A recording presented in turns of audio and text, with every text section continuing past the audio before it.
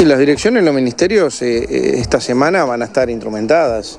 Eh, ya cada partido más o menos va a ir pasando los diferentes nombres a partir de mañana de las direcciones de diferentes ministerios para bueno, ir preparando las resoluciones. No nos olvidemos que el primero de marzo no solo asume el presidente de la República y la vicepresidenta, asumen los ministros y que el 2, de hecho, en los ministerios asumen los subsecretarios, los directores generales y el resto de las direcciones de confianza de cada uno de los ministerios para empezar a funcionar. Empresas públicas, la primera definición que teníamos que tomar era el acuerdo con el Frente Amplio, cosa que se logró el viernes a última hora, eh, después de una decisión del presidente de la calle Pou, respaldada por toda la coalición de gobierno.